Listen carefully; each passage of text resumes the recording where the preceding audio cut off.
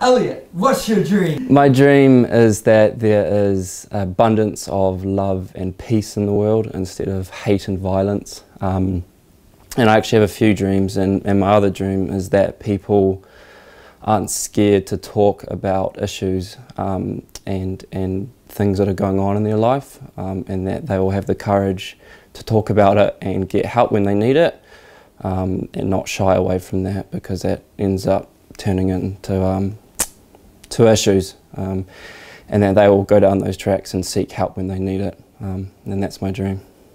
Dope, bro. Thank you, G.